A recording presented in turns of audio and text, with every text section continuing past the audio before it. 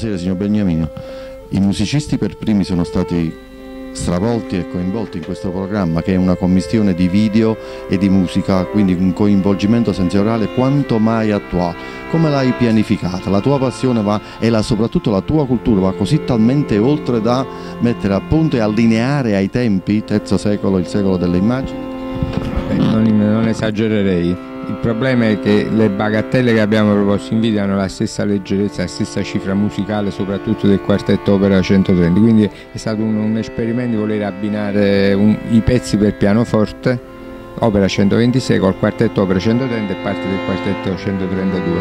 Come avete potuto vedere poi abbiamo abbinato una piccola scena da un film eh, su Beethoven che appunto eh, fa vedere Beethoven come eh, detta primi, le prime note della canzone di ringraziamento di questo colossale movimento che dura 16-17 ma infatti è una cosa che ci ha particolarmente coinvolto ed emoziona un piccolo viaggio emozionale tra musica e immagini. Sì, effettivamente è così, non è la prima volta che pensiamo a questa operazione, infatti anche il primo concerto fatto a Montechiaro, che su questo concetto dell'essere un po' filosofico, era era eh, tra la musica sempre di Beethoven e le pagine di Thomas Mann nel Dottor Faust che scrive cose bellissime a proposito dell'Arietta. Beniamino Cuomo, presidente dell'associazione, e prossimi appuntamenti. Ma eh, probabilmente saranno sempre di meno perché costano e noi non abbiamo finanziamenti e ci, ci autofinanziamo anche in modo strano. E A quelle fette di pane a Montechiaro, al Chiar di Luna, al, o al tramonto? Vabbè, posso già dire con certezza che faremo per la seconda volta il concerto con il FAI Giulierond il 2 giugno, che spero diventi un'occasione fissa anche per altre date, perché la baia di Erand deve diventare il volano di una promozione turistica di livello internazionale, così come sulle Dolomiti organizzano i suoni delle Dolomiti. Non è possibile organizzare tanti concerti ovviamente per il caldo d'estate, però in bassa stagione, giugno, settembre, ottobre si, po si potrebbero fare belle cose. Però a maggio contiamo a metà metà maggio di fare un concerto con autori eh, di, origine, diciamo, di origine ebrea fuggiti dalla Germania, molto piccoli, minori, eh, che siamo abbiamo in cantiere da molti mesi che per difficoltà non è stato fatto però contiamo a metà maggio di offrire questo concerto al centro anziani come, come al solito e abbiamo anche una chicca perché ad esempio Bruno Walter che è stato uno dei più grandi direttori d'orchestra del XX secolo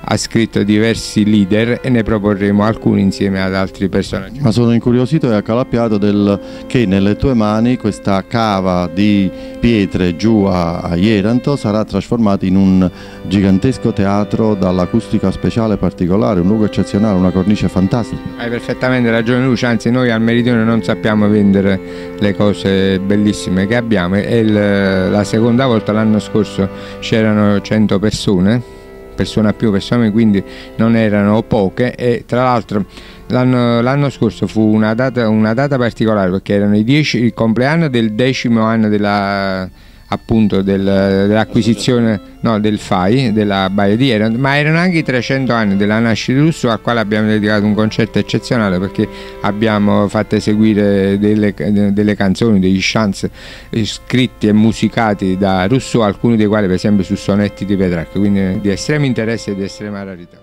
Um la meraviglia, il coinvolgere dei sensi, l'apporto dei video. Come lo vedete? Che cosa ne pensate? Lo avete concepito sulla vostra pianificazione di questo concerto o siete stati provocati da un certo Beniamino Cuomo? Provocati, ovviamente. Beniamino Cuomo è un uomo di grande cultura e di grande sensibilità ed è una politica che noi condividiamo pienamente Um, per noi il concerto sensoriale, inteso come partecipazione dei sensi non solo uditivi ma anche visivi, um, con luce soffusa ovviamente, creano attenzione. La cosa fantastica è che noi in quel video abbiamo potuto vedere il compositore, quindi non solo un video, ma un video particolarmente illuminante per l'esecuzione stessa. E Magari ce ne stessero per tutti i brani musicali. Eh? Sicuramente sarà uno spunto, un'idea quello che per noi è stato bellissimo stasera è quello di appunto suonare eh, il quartetto di Beethoven opera 130 e 132 perché sono capolavori assoluti. Ovviamente maturità quartettistica ci vuole molta maturità quartettistica e per noi è stata una bellissima sfida che Beniamino ci ha offerto. Quindi siamo contentissimi di aver potuto sfruttare questa occasione per affrontare questo repertorio fantastico. Tra l'altro nelle conoscenze e nelle, questi due quartetti non sono eseguiti frequentemente, le troviamo solo particolarmente in alcune nicchie. Eh? Studiarli un pochino per capire il perché. Sono, è un linguaggio estremamente difficile. Quando lui ci ha, diciamo, ci ha provocato con questa, con questa proposta di eseguire il 130 e appunto dalla canzone di ringraziamento e gli ultimi, gli ultimi due movimenti del 132 eh, diciamo che la decisione è stata proprio difficilissima da prendere perché ehm, comunque la nostra formazione resta una formazione giovane come, come esperienza quartettistica e questo è un linguaggio che di solito si affronta dopo anni e anni di, di studio e di lavoro assieme però poi la cosa che ci ha, mm, diciamo, che ci ha stimolato è... Infatti il concerto della volta scorsa, raffrontato anche se in termini musicali ma in termini artistici a quello di questa sera, eh, io non parlerei degli stessi maestri, professori, esecutori.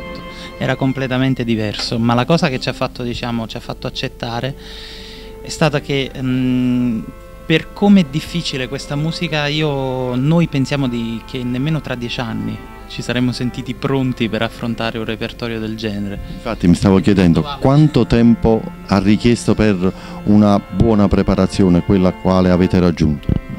C'è quasi un anno di lavoro. Carmine Caniani. Giorgiana Strazzullo, violino. Io sono sempre Sergio Martinoli. Adriano Melucci. E il quartetto Mitia è il nostro sogno a 16 corde è nato da un, un, sogno appunto, quello di poter unire quattro collaborazioni provenienti dal sud, un sud che non produce solo appunto negatività ma qualità.